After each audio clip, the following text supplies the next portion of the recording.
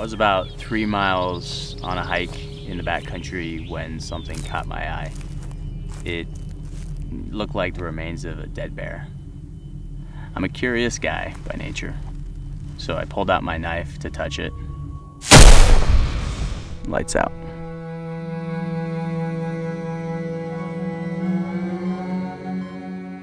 The surgeon said that I should speak to Ed on the phone because it might be the last time that I speak to him.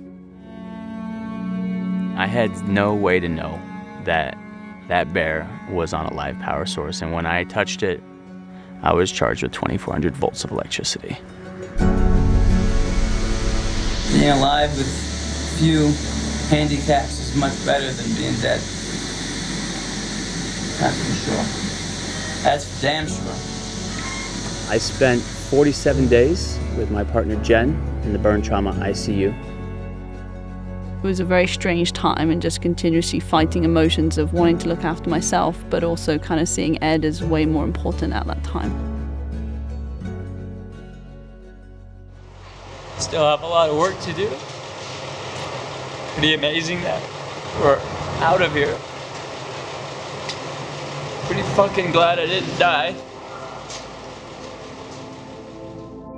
Like the doubt didn't start until I tried actually getting back to life again. I just wrapped up a, a very successful career as a yacht chef, very confident about where I was in life. All of a sudden, overnight at 30 years old, I had to rethink how to do every single task. I actually don't want to deal with this. I don't want to have to explain any of it. An experience like this teaches you to be incredibly happy with who you are, no matter what you're going through. Eduardo said something that I've heard one or two other patients say, and they said, I would never go back. My life, to me, is richer because of this. I truly feel this urgent need to say thanks at large.